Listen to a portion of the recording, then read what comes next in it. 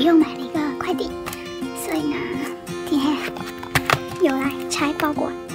嗯，买了一些桌道啊，对，就是一些桌道。这个是先讲分装吧，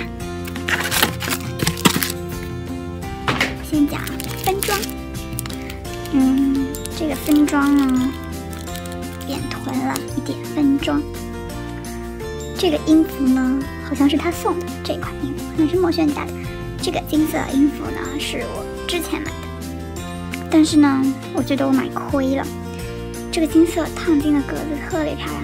这个金色音符，我在买完这一家之后，自己又去木的家，自己又去买了一卷金色音符。所以我觉得那个分装买亏了，因为这家店发货实在太慢了，所以我这个分装就有点买亏了，我觉得。然后这个是 K A C E 家的镀锌曲，特别好看。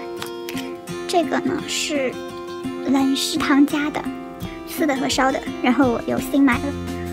嗯，对，冷食堂最近新开团嘛，新款，然后又有复刻丝的和烧的，所以我就买了。然后呢，这个木的的，这两个是木的，对，这两款，这个是小帽子，这个呢是华阳和风家的天空。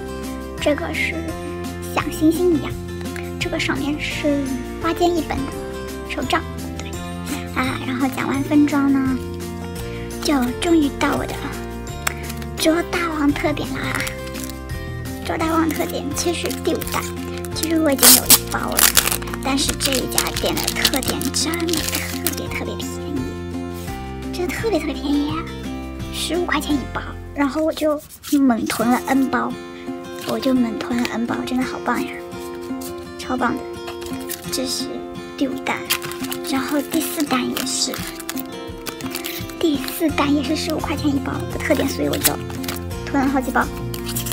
拆开看一下，我之前还从来没有见过第四弹特点呢。看一下，这是分装卡，分装卡，这是一张小卡。第五弹换成的是大卡，我觉得第五弹的这张大卡来的好看。第五弹这个大卡来的好看，然后第四弹的贴纸也比较少，原标和两张，嗯，和两张没有裁切过的贴纸，还有一张大卡。其实我发现第五弹的特点比较划算。